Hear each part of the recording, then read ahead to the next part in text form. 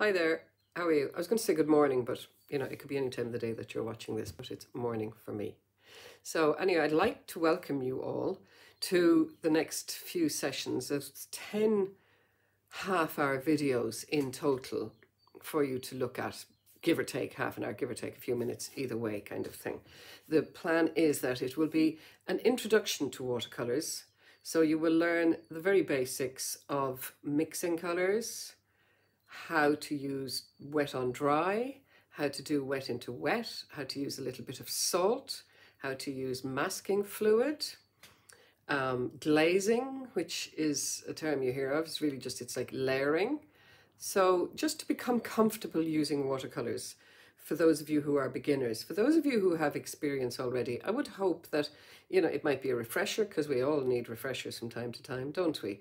And maybe you'll see something that, you know, I know that you don't know or that, you know, or whatever that I do that you think, oh, maybe I'll try that. That looks interesting.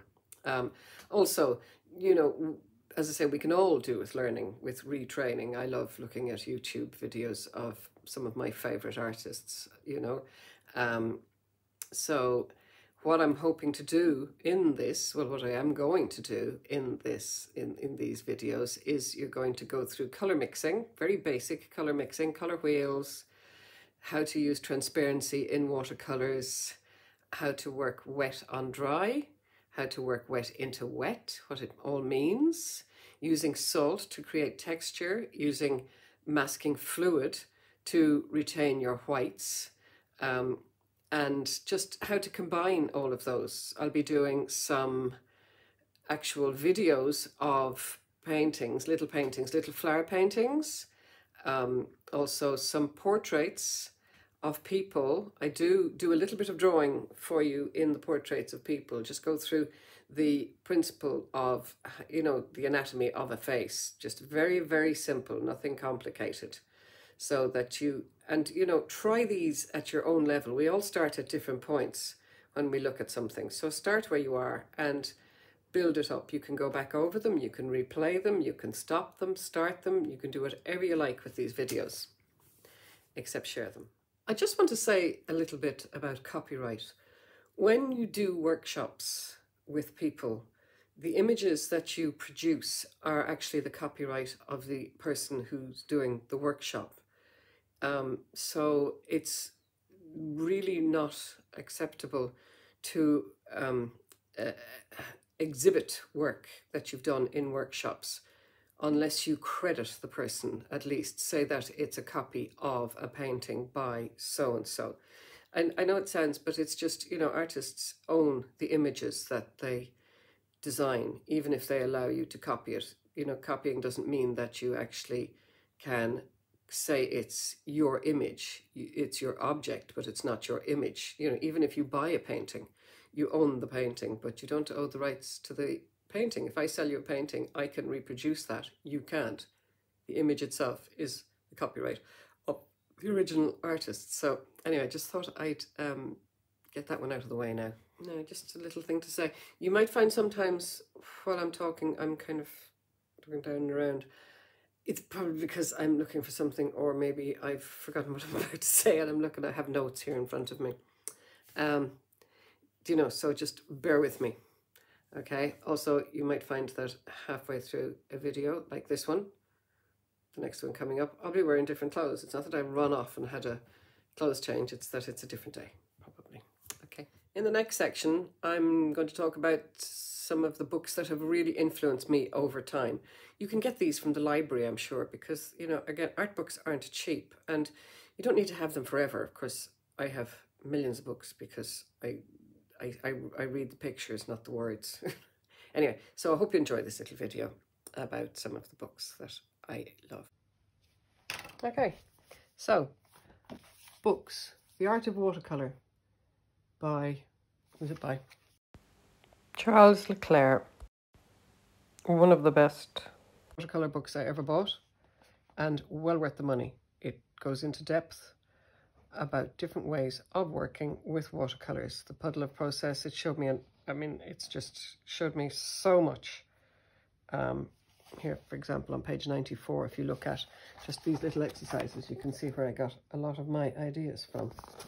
Um, well worth it. If you can find it, the library might be able to find it for you. The, the Art of Watercolour by Charles Le Clair.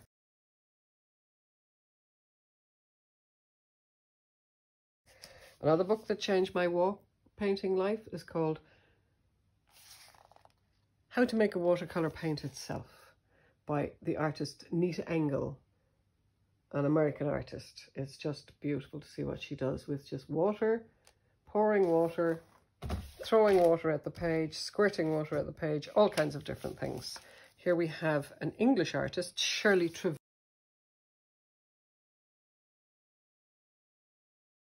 Trevena, and she has lots of different books. This one is Vibrant Watercolours. Again, um, it's probably out of print at this stage, but it's a beautiful book and it shows her process, which is very colourful and very experimental. She uses all kinds of things. These books, you know, you may not want to paint like these people, but it's certainly worth looking at to see what they do. And of course, the famous Charles Reid, who died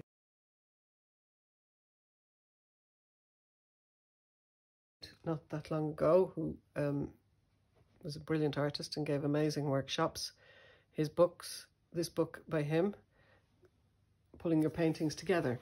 It's a very useful book.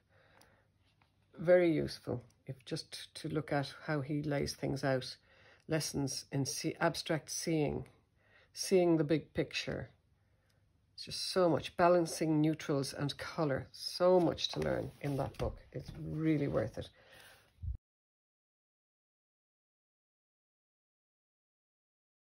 Winslow Homer, brilliant artist, American artist, lived in the UK for a long time.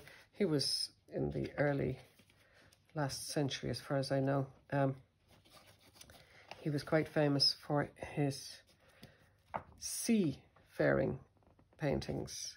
1890, Rowing Home. I mean, it could be, or it could be a Turner, couldn't it? It's absolutely beautiful. And of course, Turner. I have books by Turner, but I don't know where they are. Turn is well worth looking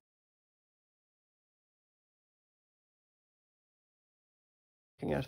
David Poxon, a contemporary English artist, works with farmyard, um, all kinds of kind of rustic equipment and things like that. I started being interested in tractors and I discovered his work and um, he just, you know, brings it to another level. Okay? So that's some books for you to be. Okay, so I'm just going to have a little quick chat with you about materials. You can spend as much as you like on watercolours and I do recommend once you get through the initial stages that you do spend money on paper. You can use excellent quality paints but if the paper's no good you're wasting your time unless you really, really know how to manipulate your paints. Okay, so anyway, I'm just going to start with pencils. Um, any kind of pencil will do. I normally, that's a 2B. 2B, and it's, um, what make is it? I don't know, it's just Faber-Castell. Right, 2B, 4B, 6B. You can also get watercolour pencils, which are very good because they wash away as you paint. So if you don't want a pencil to be seen in the drawing afterwards, but there's nothing wrong, it's perfectly acceptable to have pencil marks in watercolors, you know, because that's because they're transparent, so you're going to see the pencil.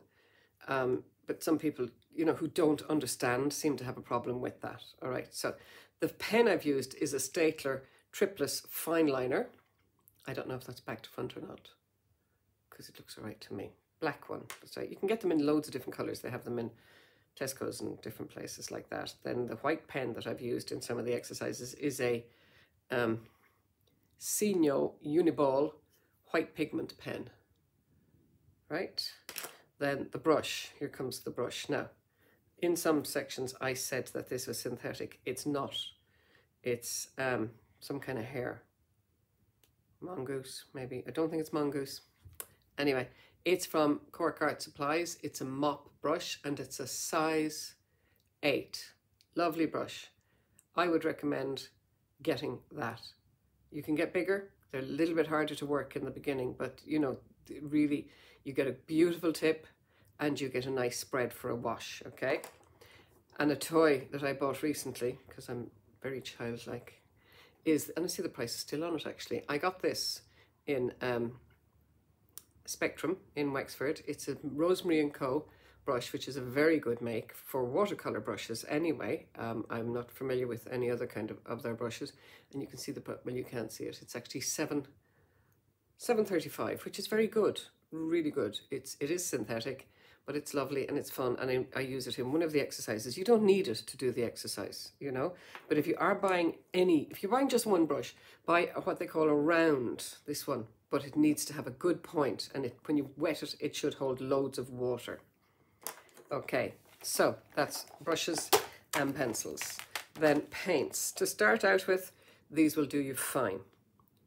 Right, again, it's probably back to front, but they are um, Winsor & Newton Cotman. They're students' quality. Just buy three, well, buy six. You'll see in the videos the six that you need. I'll tell you now. French ultramarine or just ultramarine, which is a blue. Cobalt, which is another blue. See? Then you have two reds, cadmium red and crimson red.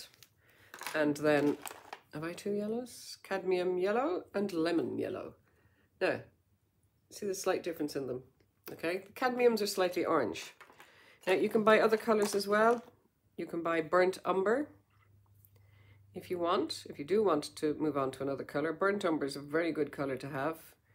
Um, and Payne's Grey is very good as well, and that's all I'm going to say about them.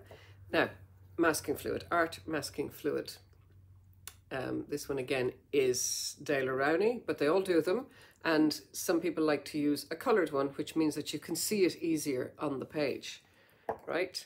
I'm going to thoroughly confuse you now and show you the paints that I've been using lately. These Beautiful, aren't they? Oh, they're like sweets. Anyway, never mind. Um, they are Gansei Tenbai. Tenbai? Gansei Tenbai? The label's gone. Japanese, as far as I know, probably possibly Chinese.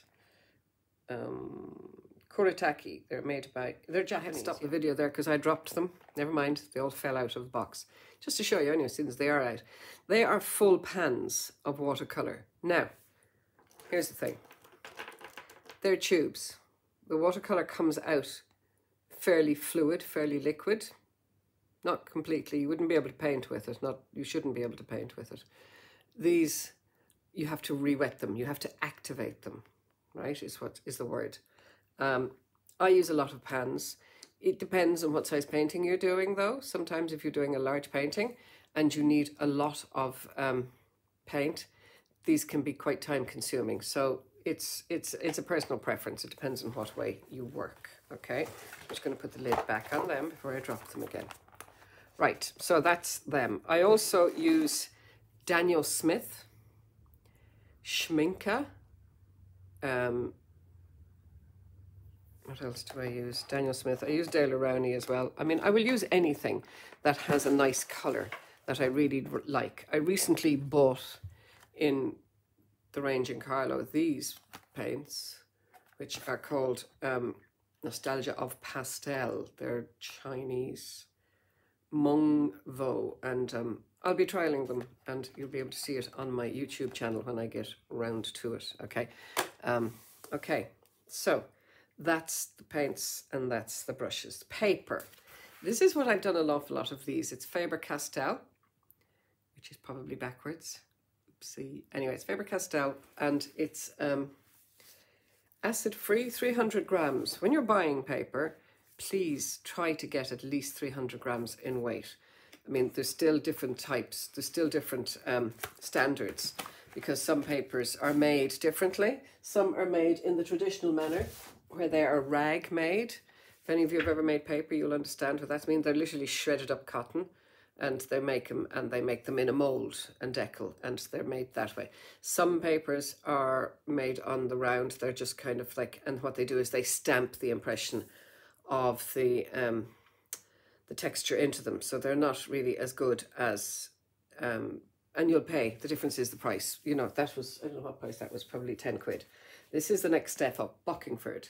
This is a lovely paper. St Cuthbert's Mill in England. And it's, again, 300 grams in weight. 140 pounds is 300 grams, remember that? And it's got 12 sheets. And that was probably, I don't know, it was probably about 20 euros. Possibly. For that. You'll have to look that up. Now, here's a lovely paper. Um, that's got a, a, it's it's called CP NOT, which means that it's got a slight texture to it. It's not a huge texture to it. This one here, Winsor and Newton. How does it tell me about it? Um, Winsor and Newton Aquarella. Where's the directions of it? Okay, here we are. So it's aquarelle watercolor, grand hot pressed Gran Satine, which means that it's smooth. And it's lovely for doing um, work that you don't want a grain, maybe work where you're doing a lot of fine detail. Another make, uh, that's Winsor and Newton, that wasn't that cheap either. None of these are very cheap. And they get more expensive, trust me. This is Hahnemühle, Hahnemühle, H-A-H-N-E-M-U-H-L-E, German paper. Very good again as well. So this one is a cold pressed. So it's got a slight texture to it. Um, and then this is the paper of all papers, Arches. Now this is about 50 euros. 40 euros, 50 euros for this. A-R-C-H-E French paper. Again, it's the same weight as the others. It's 300 grams. You can get Arche paper that is um, 600. You can get a lot of these papers, they do up to 600. And it's like working on card. It's absolutely amazing, right? You can do a lot to it. Um, so you get 20 sheets in this. So, you know, uh, it's 100% pure cotton and it's a block of paint, right? So it's actually stuck at the sides. So it doesn't buckle at all. Um, and then you kind of, you you put your a, knife or your finger in there and you take it off when you've finished your painting. So it's really nice because watercolor paper when it's wet, if you use a lot of water, will stretch and buckle and you need to stretch it out. Now there's I haven't gone into stretching in this course either this time. I will if there's an appetite for it. Not many people do it nowadays to be honest because most of the paper is very good today. Um, but you can stretch it. You need um, gum tape to stretch your paper. So that's all I'm going to say about those, right? Um, sorry, I'm just this piece of paper down here. I'm just looking at to see if I've covered everything. So look, um, all I can say is we have these sessions. Give it a go. If it doesn't work, give it another go. Honestly, because I've been painting watercolors for, ooh, I don't know, God, way too long, 30 years now. I'm probably started out in college, but gave it up for years um, because art is hard to sustain. So look, give it a go, and hopefully we will have some kind of a, a, an online meetup maybe at some stage so that we can discuss either before or after the course how you know what was what worked what didn't work for you all i'm very interested in feedback um, it's my first time doing this so you know be kind. Well, you, you know, just if you have an opinion, give it. You know, um, let us know somehow. Um, so I would like to find a way for you to give feedback, and we're going to work on that hopefully. Okay, I've probably said this in a few other places, but anyway, I'd like to just say to you, give everything a go. Start with the early steps if you really feel that you need the experience or that if you haven't done it in a long time, just, you know, go through all the videos, give it a go, do your best. Remember, it's only a piece of paper. And um, I look forward to finding out how you got on with it all at some stage in the future.